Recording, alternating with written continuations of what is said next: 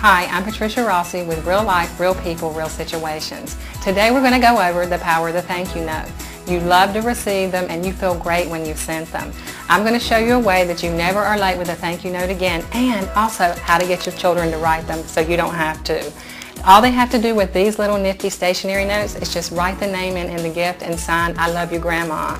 Now, I brought this out of my drawer to show you. We always want to use blue or black pens unless we're feeling very, very festive and we can use like gold paper with silver pen or silver paper with gold pen. Now, the number one reason I always forget to send my thank you notes is I don't have enough stamps. Stamps are like water. So when you buy a roll of stamps or a sheet of stamps, go ahead and buy two. And if you don't want to use your label, I have something phenomenal here that looks great and it's, easy, it's as easy as sticking on a label.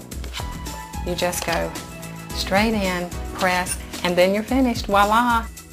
Now go write that thank you note you've been thinking about writing. I'm Patricia Rossi with your Etiquette Minute.